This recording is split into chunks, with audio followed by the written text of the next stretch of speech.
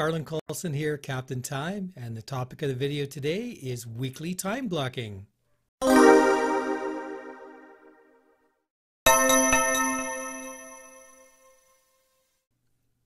So, what is weekly time blocking? It's a technique that I recommend uh, all the time for people. And what it is, is it's really just figuring out what are the main categories, the main projects that you end up working on in your work, and then setting aside blocks of time to work on each of those projects.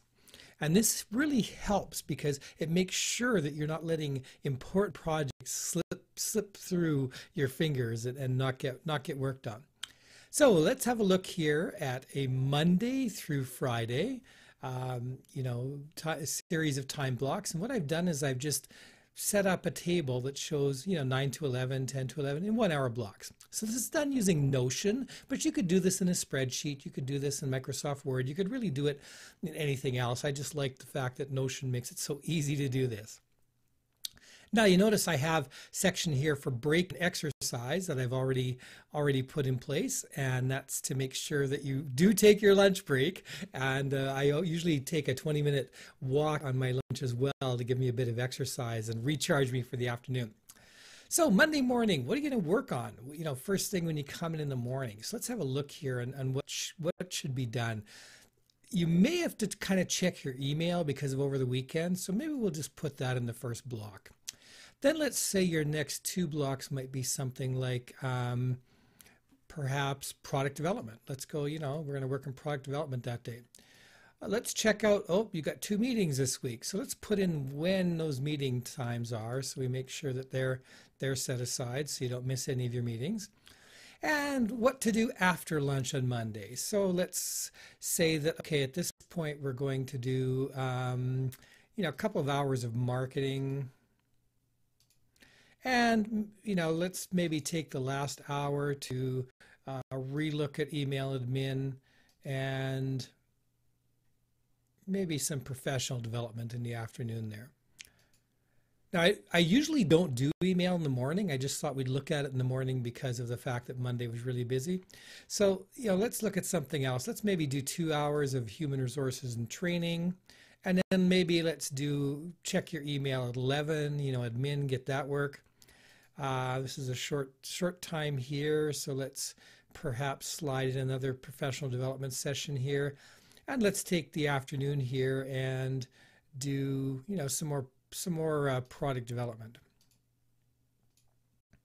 So you can see how this works. It's a pull down menu. You can easily lay it out. So what happens is if you came in Tuesday morning and say, up oh, Tuesday morning's human resources and training, you would then pull up your task management system and filter it to show only your human resources and training tasks, which might be things like um, you know performance management for your staff, like learning how to how to coach them properly, uh, doing working on the performance reviews, so you don't suddenly have to do them all in the last week before they're due.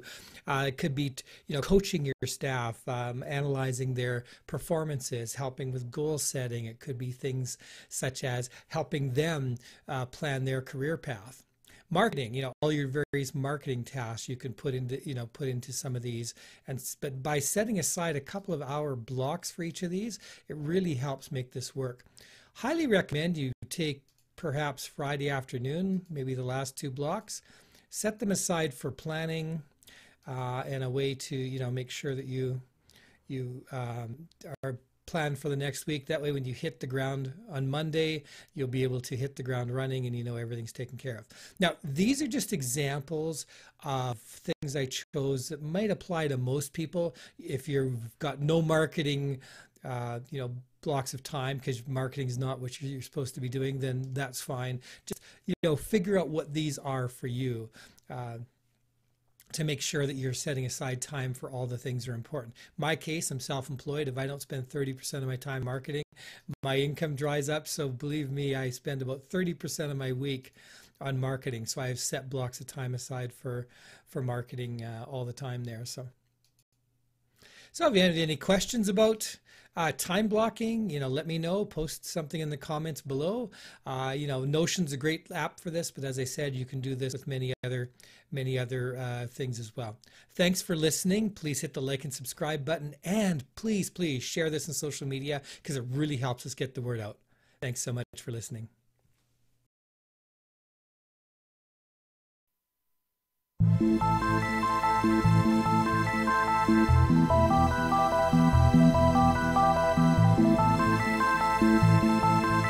Música